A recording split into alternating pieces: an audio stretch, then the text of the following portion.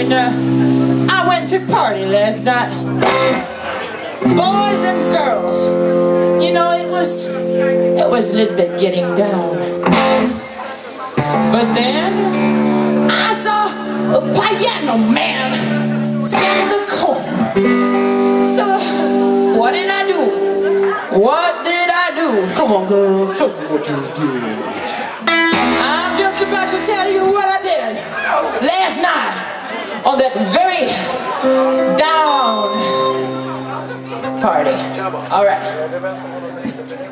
As usually, I walked up to that piano man and I said, Ooh, baby, what you got, what you got going there? And he said, I got a piano right here, baby. Yeah. I said,